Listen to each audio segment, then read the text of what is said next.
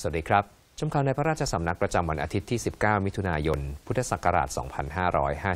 2559 แถลงการสำนักพระราชวัง เรื่องพระบาทสมเด็จพระเจ้าอยู่หัว เสด็จพระราชดำเนินมาประทับณโรงพยาบาลสิริราช ฉบับที่ 29 วันนี้คณะแพทย์ผู้ถวายการรักษาพระบาทสมเด็จพระเจ้าอยู่หัวได้รายงานว่า การถวายการตรวจติดตามพระอาการ ภาวะน้ำไขสันหลังในโพรงพระสมองมากกว่าปกติ หลังจากได้ถวายการแก้ไขด้วยการปรับสายระบายน้ำในช่องพระนาภีช่องท้อง คณะแพทย์ได้ถวายการตรวจด้วยเครื่องเอ็กซเรย์คอมพิวเตอร์ เมื่อวันที่ 14 มิถุนายน 2559 พบว่า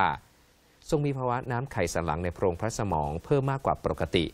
คณะแพทย์จึงได้ขอพระราชทานพระบรมราชานุญาต ถวายการเปลี่ยนสายระบายน้ำในช่องพระนาภีช่องท้อง โดยไม่ต้องใช้ยาสลบเมื่อเย็นวานนี้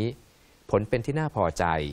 อันหนึ่ง การตรวจติดตามพระอาการของพระหทัย หลังถวายการแก้ไขการตีบแคบของหลอดพระโลหิต เมื่อวันที่ 7 มิถุนายน 2559 พบว่า คลื่นไฟฟ้าหัวใจ และการตรวจพระโลหิตบ่งชี้ว่า ภาวะกล้ามเนื้อพระหทัยดีขึ้น